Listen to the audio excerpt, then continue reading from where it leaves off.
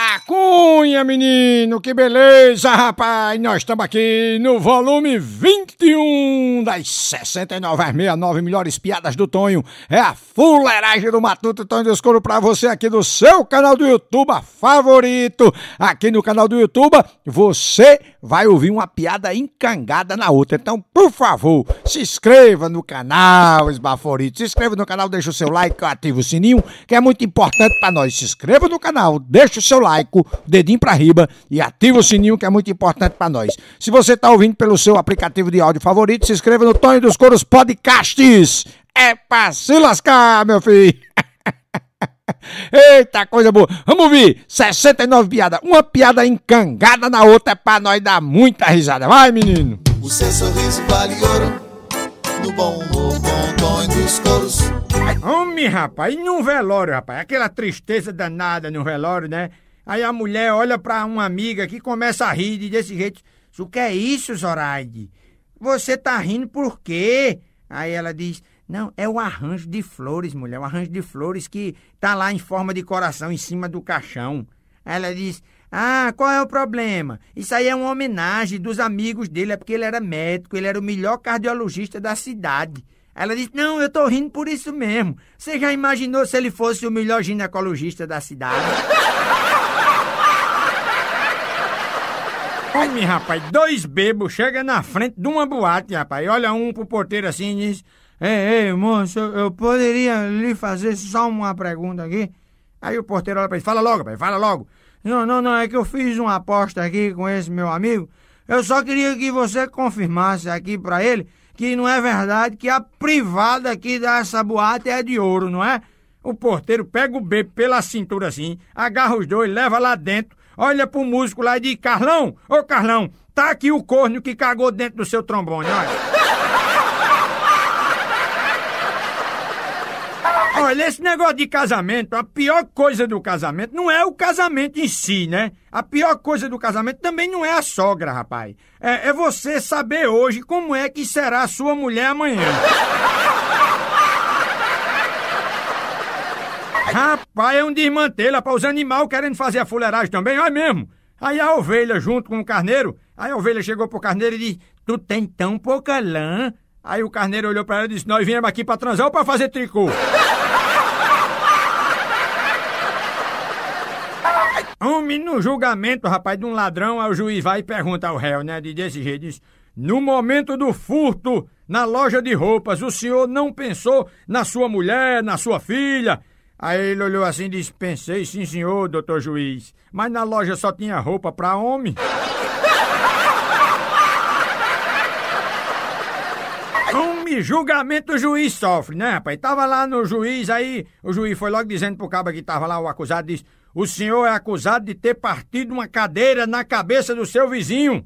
Aí o réu de desse jeito disse: Sim, Berentíssimo, mas na minha intenção era partir só a cabeça dele, não a cadeira.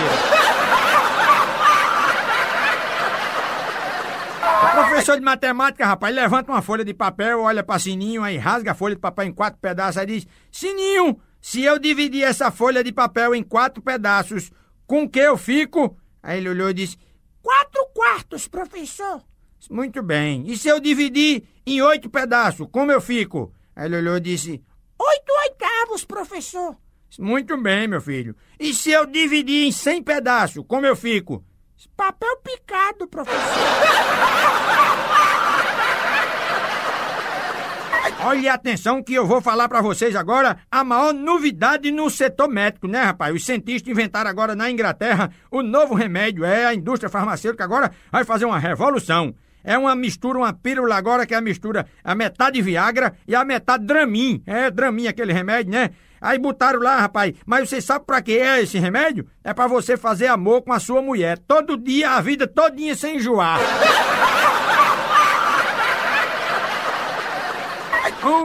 De Otila, rapaz. Tava horas lá no bar tomando cachaça. De repente ele vai e bate no balcão, né? E diz assim: Ei, ei, ei, você tem ovo aí, meu camarada?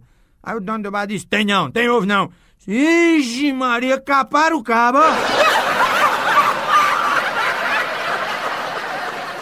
Zé de Otila, rapaz, tava viajando no ônibus e sentou de lado de uma mulher bem bonita e gostosa, né? Aí foi logo perguntando a ela como é as coisas e tudo. Aí ela, toda mal-humorada com ele assim, aí ele disse: Oi, minha senhora, eu fui coveiro muitos anos, viu? Aí ela disse: Ah, que maravilha! Então o senhor já enterrou muita gente, né? Aí Zé Otila disse: Não, senhora, eu vendia couve na feira. Um num boteco lotado, rapaz, aquele negócio todo, o caba doido pra ir no banheiro, aí foi lá no banheiro, pegou, botou um bilhete assim, na, debaixo do chope dele, né? Cuspi neste chope. Aí foi no banheiro. Quando ele voltou do banheiro, aí tava escrito lá com outro bilhete. Eu também. Rapaz, dois amigos vão tomar uma cerveja naqueles botecos bem vagabundos, né? E um deles vai e diz pro dono do bar desse jeito bem alto: diz, Ei, uma cerveja aí, copo limpo, por favor, viu? Aí o dono do bar chega depois de um pouquinho e diz: é, é, qual dos dois pediu o copo limpo aí, por gentileza? Eita, o caba vai pro motel todo animado com a namorada, aquele amor da molesta, né? Aí quando ele vai no banheiro, ele percebe que o caba tinha esquecido um tubinho de pomada lá. Aí ele disse, eita, pá, vou passar aqui, isso deve ser um negócio pra dar tesão, né? Afrodisíaca. Aí passou lá, pomada e tudo. Me fez um amor da molesta e tudo, aquele amor danado. Ele disse, rapaz, essa pomada é boa. Eu vou levar pra casa. Ele levou a pomada pra casa. Quando ele chegou em casa, ele foi olhar no fundinho da pomada assim, né? Pra ver o que é que tava escrito. Tava desse jeito. Pomada para Carlos. Emudece, endurece e faz cair. E o funcionário da funerária, rapaz, vai perguntando o genro que tava lá, ajeitando o enterro da sogra, né? Aí foi logo dizendo, enterro ou cremação? Aí o genro vai, pensa um pouquinho e diz, rapaz, é o seguinte, os dois, manda fazer logo os dois aí, que é pra não, não ter nenhuma possibilidade dessa velha ressuscitar. Aí o cabo era professor da universidade, né? Chegou pros alunos dele lá e foi logo dizendo assim: olha, muito boa noite para vocês. Eu estou aqui para dizer a vocês que eu sou professor porque eu domino as principais línguas do mundo, exceto uma. Aí um aluno se levantou e disse: qual, professor? A da minha sogra. o português Manel, rapaz, chegou na zona, né? No bordel, né? Vai logo perguntando a cafetina, diz. É, quanto custa, quanto estaria custar um coito com uma das meretrizes? Aí a cafetina diz, depende do tempo, né? Aí ele diz, bem, bem pois suponhamos que chova. Homem, rapaz, na noite de núpcia, rapaz, uma loura que tinha casado com um marido português, né, Joaquim? Aí foi logo dizendo para eles, Joaquim, eu tenho uma coisa muito importante para lhe dizer. Eles, pode falar logo, lindinha. Não, não, mas eu, eu acho que você vai se decepcionar. Ora, pois, fala logo que eu estou curioso. É, não, é porque eu não sou virgem. É, francamente, Sofia, isso não é hora de nós falar em horóscopo, né? O meu doido vai e exige pro diretor do hospício. Isso eu não aguento mais, não. Eu quero uma cama bem forte. Aí o, o diretor olha assim, mas, mas por que você quer uma cama bem forte, rapaz? Você não é gordo nem nada? Mas é porque eu tenho um sono muito pesado. Homem, dois velhos amigos se encontraram numa praça e começaram a conversar. Aí um diz desse jeito: Rapaz, eu tô com muita saúde assim, porque eu nunca tomei remédio de qualidade nenhuma, rapaz. Eu não acredito em remédio, ó, remédio só me faz mal. Aí o outro diz: Pois, rapaz, a mim, meu caro, os remédios me fizeram muito bem. Aí o outro diz: Oxente, rapaz, e o que é que você tinha? Uma farmácia.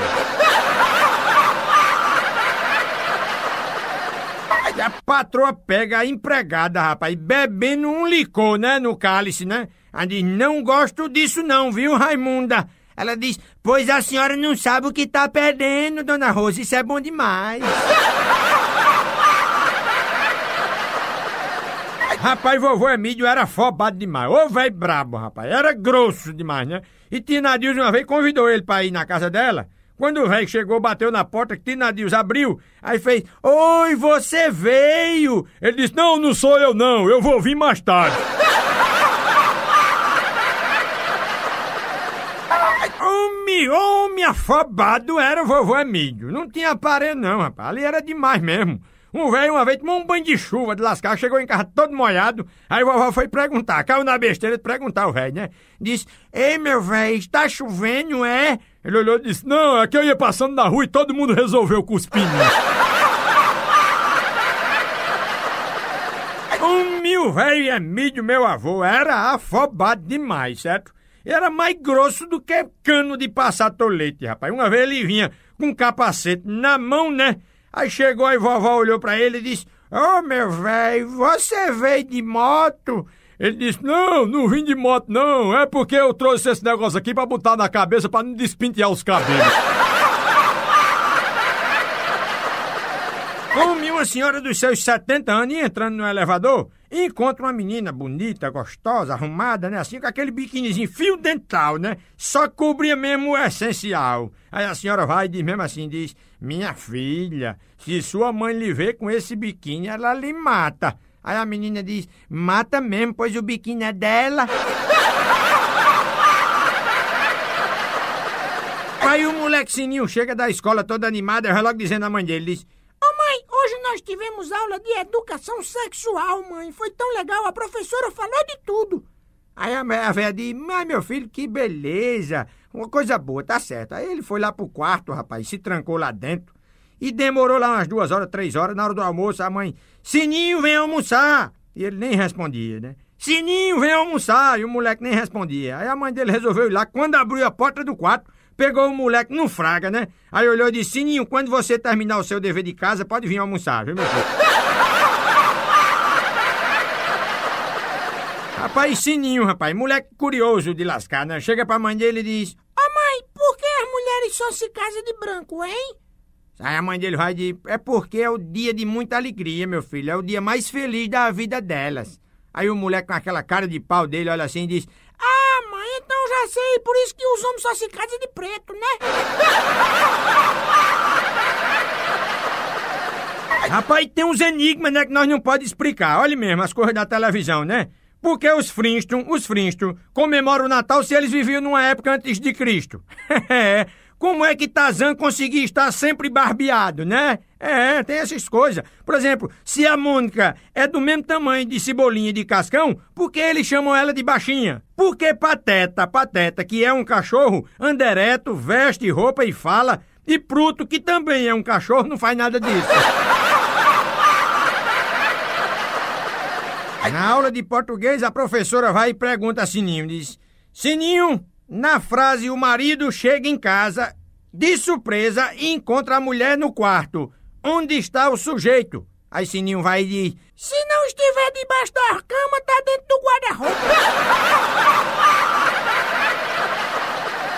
Rapaz, tem umas perguntas que não tem explicação, né? Por que nós abaixamos o rádio do carro toda a vida que estamos procurando o número de um prédio numa rua? É, se depois que nós tomamos banho estamos limpos, por que é que lava as toalhas? e como foi que a placa é proibido pisar na grama foi colocada lá? Rapaz, não tinha um velho mais afobado no mundo do que meu avô Emílio, com pergunta imbecil, rapaz. Ele ficava brabo demais, viu? E ele tava no ônibus uma vez, né? Pegou um ônibus e foi descer do ônibus, puxou naquele negócio pra dar o sinal, naquela mangueirinha pra dar o sinal, né?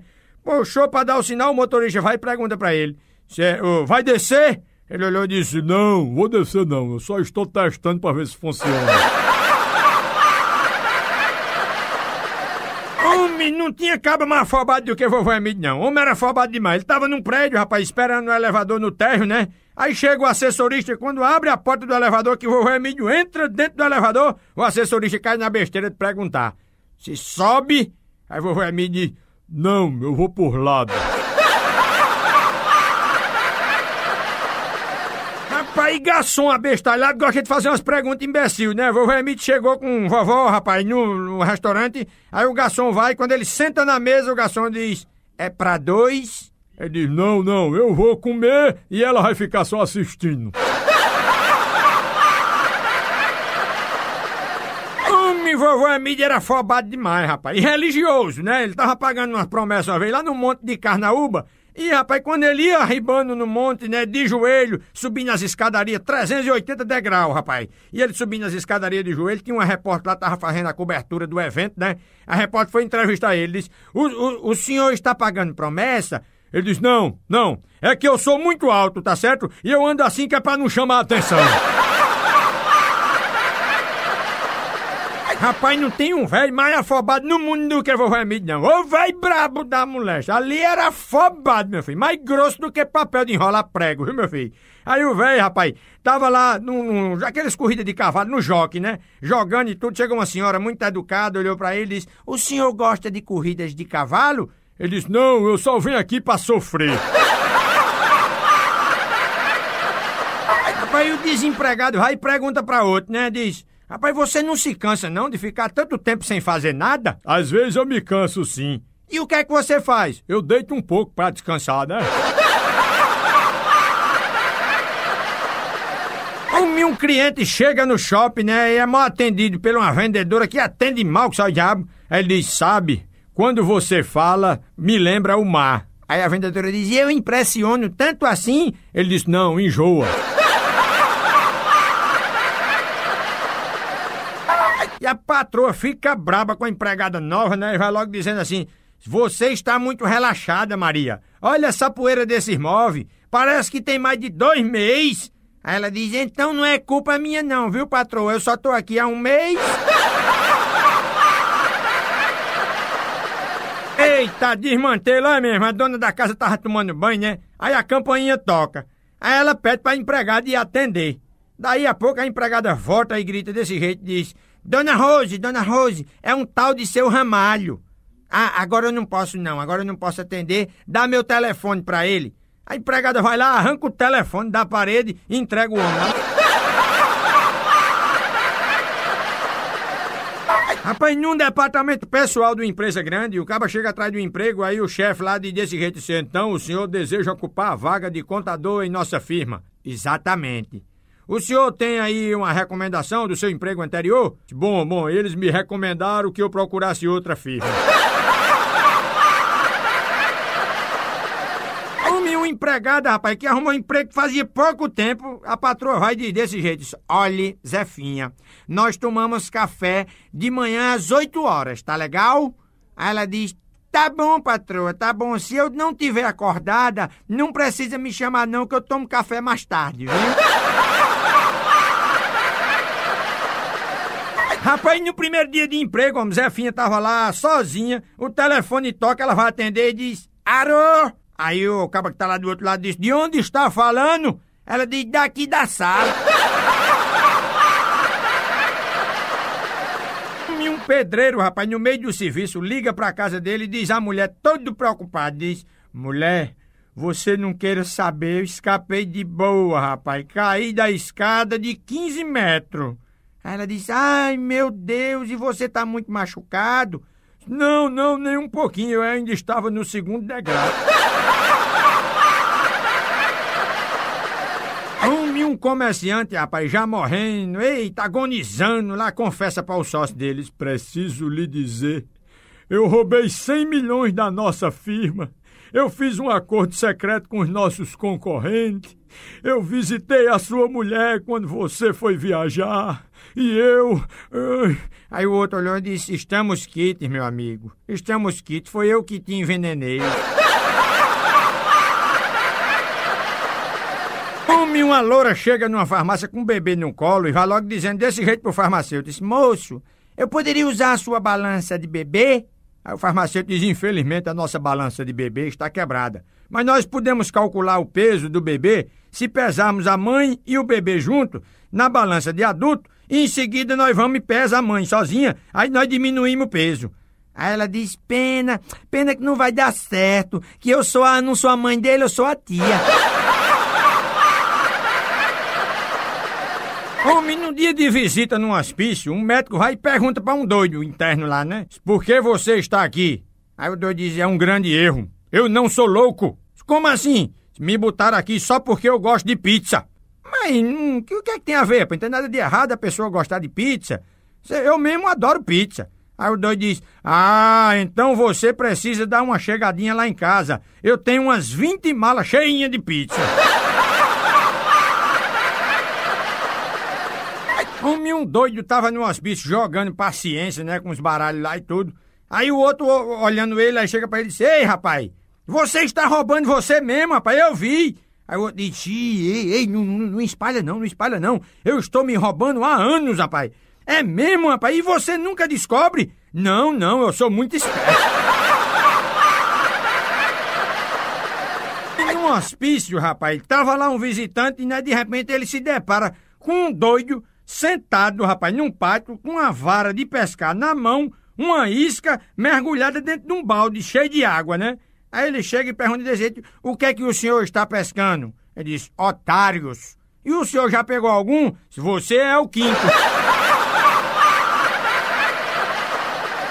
Rapaz, e uma mãe foi visitar um doido no manicômio, né? Um filho doido. Aí chegou lá quando já tava indo embora e disse: Quer que eu traga alguma coisa da próxima vez, meu filho? Aí ele disse: Sim, mãe, eu preciso de um relógio que diga as horas. Oxente, meu filho, e esse seu relógio aí não diz as horas, não? Não, não, eu tenho que olhar. Homem, rapaz, olha mesmo no hospício acontece uns troços desmantelados, né? O doido chega na sala do diretor Aí com um vidrinho na mão e vai logo dizendo pro diretor desse jeito: Ei, ei doutor, olha aqui, eu acabei de inventar um, um, remédio que deixa a gente com o poder de adivinhar as coisas. Aí o médico abre o vidro, rapaz, cheira, aí diz: Que conversa é essa, rapaz? Isso aqui é mijo, rapaz, é urina. Aí diz: Tá vendo? Adivinhou, tá vendo como o remédio é bom? E um doido inteligente demais né, chegou pra outra e disse: Rapaz, eu arrumei uma forma de nós sair daqui desse, desse quarto. Disse, como é? Vamos fugir. Mas como é que nós foge? Ele disse, nós, nós vamos fugir pelo buraco da fechadura. O outro disse, como é, rapaz? Isso é o seguinte, tu vai, corre aqui, tu vai primeiro, tá certo? Vai, faz carreira e passa pelo buraco da fechadura que depois eu vou atrás de tu. Aí o doido mais abestalhado pegou e foi, rapaz. Quando ele fez carreira, meteu a cabeça na porta e caiu no chão. Olhou e disse, mas rapaz, o que foi que houve? Ele disse, homem, eu acho que deixaram a chave na porta. Homem, um dia eu peguei o jornal, aí tava escrito lá uma matéria desse jeito, diz, maluco com mania de ser papel carbono foge do manicômio. Até o momento a polícia já conseguiu prender três cópias e continua a captura do original. Eita, rapaz, e a mocinha vai toda chorosa na delegacia, chega lá e diz: Quero registrar uma queixa. Acabei de ser violentada por um débil mental.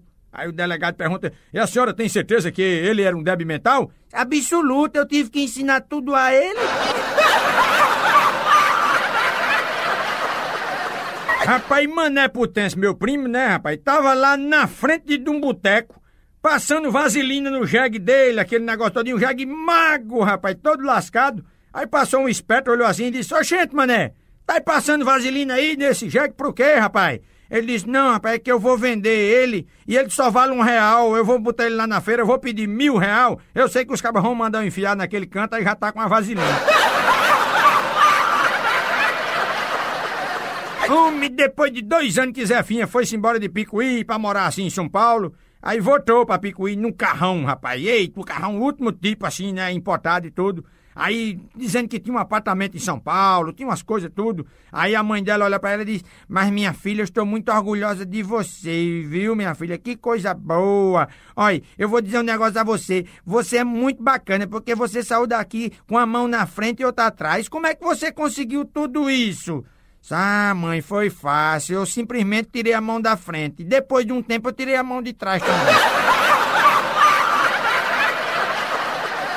Rapaz, o bebo Zé de Otila chega na igreja, tá todo mundo lá na igreja lotado, aquele negócio, ele vai logo gritando, diz, Ei, atenção, tá todo mundo convidado pra ir no meu aniversário amanhã, viu? Lá em casa vai ter muito forró lá, vai ter um pagode tudo, tô esperando vocês. Aí todo mundo olha assustado para ele assim. Ele de repente, rapaz, quando olha o padre, bota a cabeça fora do confessionário assim, ele olha pro padre e diz: E você não precisa ficar nervoso, você que tá cagando aí também tá convidado. Rapaz, e a loura, toda gostosona, rapaz, sendo entrevistada numa agência de emprego, o entrevistador começa a perguntar, diz, a senhora pretende trabalhar? Sim, É, nome, Caroline Blizine da Silva, idade, 22 anos, escolaridade, segundo grau completo. sexo, Ah, só se o salário for muito bom. A minha loura foi buscar o filho na escola e vai logo perguntando ao menino, diz, E aí, filhote, como é que foi a aula hoje? Ela disse, ah, mãe, foi muito legal. Hoje nós aprendemos álgebra. Aí ela disse, que bonitinho. Fala pra mamãe como se fala bom dia em álgebra.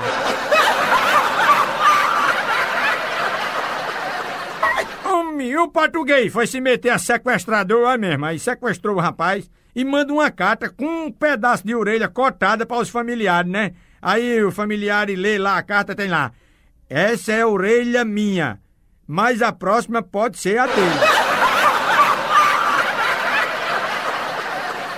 Homem, uma morena americana e uma loura brasileira se encontraram, né?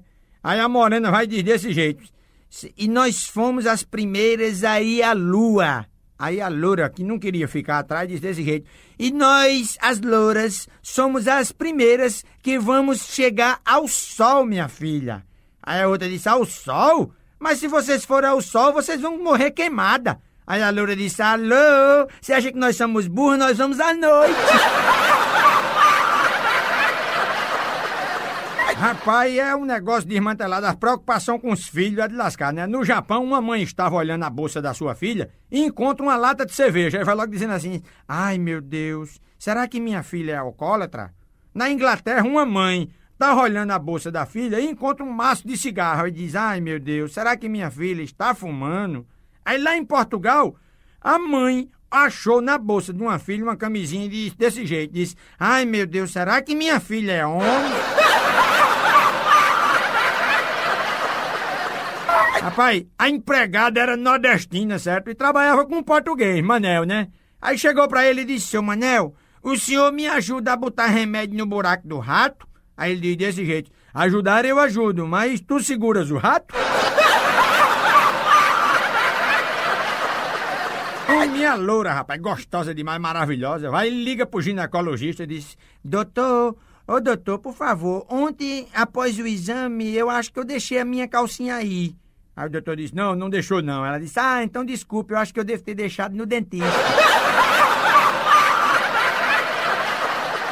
Homem, rapaz, e na universidade? Aí é que o desmantelo é grande, né? Tava os alunos tudo lá e os diretores pegaram e inventaram um concurso para os alunos fazerem uma frase, quem fizesse a melhor frase sobre a mulher, assim, ligada ao curso deles, né? Aí o pessoal de medicina foi lá e lançou a frase dele, disse, ninguém conhece o corpo da mulher como nós. Aí o pessoal de direito vai e manda a frase.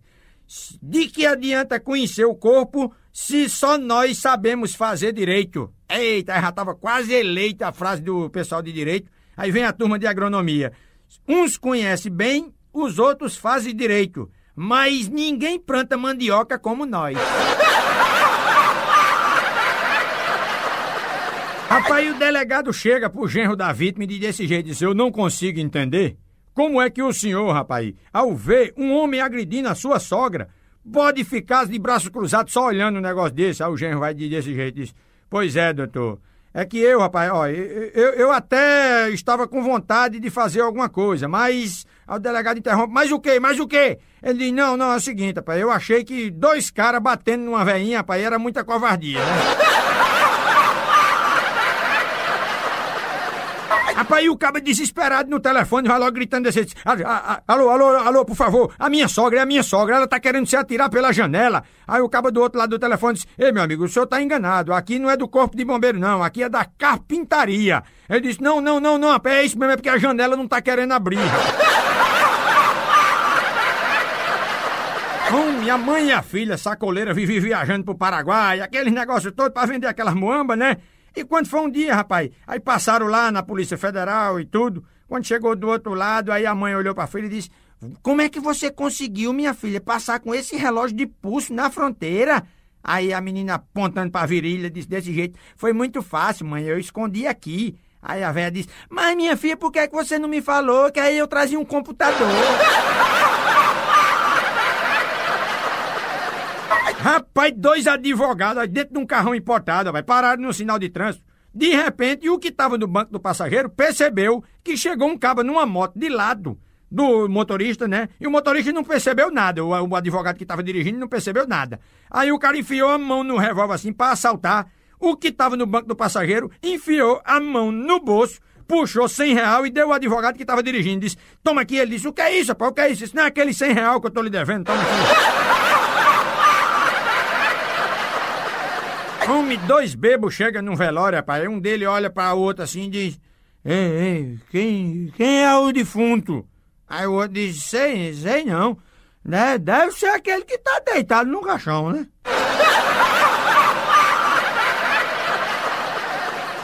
Homem, dona Tita, rapaz, tinha um marido manguaceiro, daqueles cachaceiros de lascar, né, rapaz? Quando foi um dia ele chegou em casa, bebe até a merda, a velha já tava braba, aborrecida, aí disse: Ai não, eu não aguento não, você tá bebo de novo, rapaz. Aí o marido pinguço olha pra ela assim e diz: De novo não, de novo não, ainda é a mesma cachaça de ontem. Se o quiser ser maior tesouro, aqui tem bom humor, bom tom entre os coros. Eita, gostou, meu filho? Deu muita risada, muito legal, né? Toda semana tem, é, as 69 melhores piadas do Tonho, as 69, porque de 69 é melhor ainda, viu? Então, se você gostou, por favor, se inscreva no canal, deixa o seu like, ativa o sininho. Aqui no canal do YouTube, Tonho do Escuro, é muito importante você se inscrever, deixar o seu like e ativar o sininho e também deixar o seu comentário, que é importante pra nós. Muito obrigado aí, tá certo? Indica pros teus amigos. Se você tá ouvindo pelo seu aplicativo de áudio favorito, se inscreva no Tonho dos Podcasts. Sumanda que vem tem mais uma piada encangada na outra, as 69 melhores piadas do Tonho. A cunha, menino, até semana que vem. Um abraço pra tu e pra aquele foda, família.